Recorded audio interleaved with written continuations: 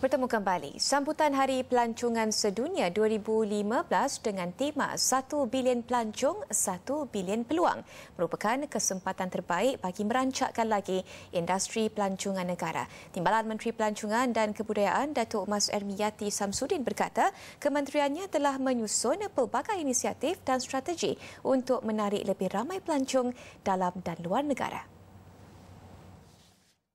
Uh, World Tourism Day ini kita sambut pada setiap tahun uh, pada 27 September. Dan uh, tahun ini uh, kita menyambutnya uh, dengan kejayaan apabila Malaysia terpilih setelah 20 tahun.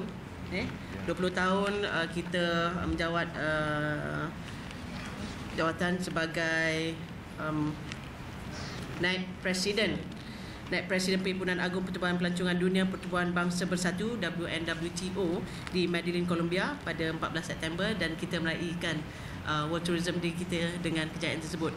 Walaupun kunjungan pelancong pada suku pertama tahun ini merosot kepada 6.48 juta orang berbanding 7.91 juta dalam tempoh sama tahun lalu, Malaysia memiliki pelan untuk meningkatkannya menjelang akhir tahun ini. Selain merancakkan kempen pelancongan domestik dekat je, Malaysia turut meraihkan sambutan Citra Warna pada 17 Oktober dan Matic Street Art Festival November nanti. Dalam pelan transformasi pelancongan Malaysia, 36 juta pelancong asing dengan janaan pendapatan 168 bilion ringgit disasarkan menjelang tahun 2020.